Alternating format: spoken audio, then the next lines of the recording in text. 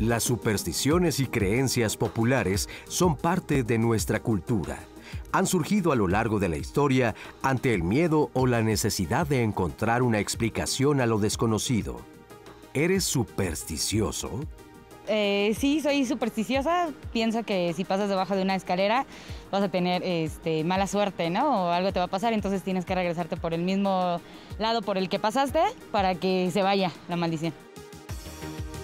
De acuerdo con la más reciente encuesta sobre la percepción pública de la ciencia y la tecnología en México 2017, elaborada por el Consejo Nacional de Ciencia y Tecnología y el INEGI, cerca del 60% de los encuestados prefieren hacerse una limpia o tratarse una enfermedad con medicina alternativa que acudir con profesionales formados en la ciencia.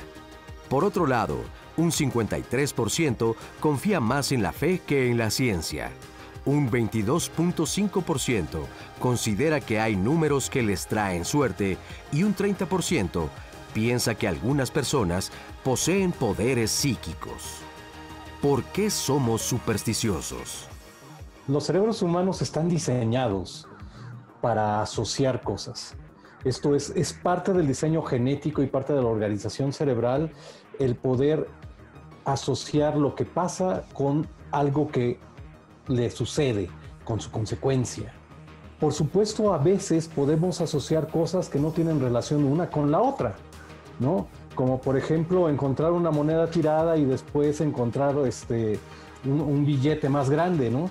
Eh, pensamos que ahora cada vez que encontremos una moneda, esto va a predecir que voy a encontrar una recompensa aún más grande. Eso es parte del diseño, ¿no?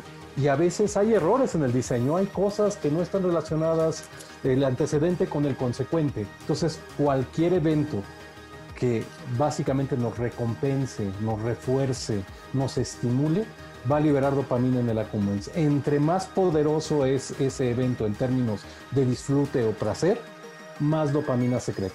Entonces, todos estos eventos que asociamos positivamente con otro evento normalmente están relacionados con esta liberación de dopamina.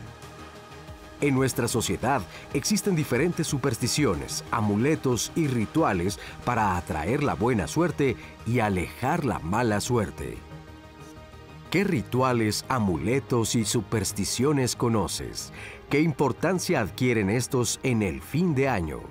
Hoy hablaremos sobre amuletos, rituales y supersticiones.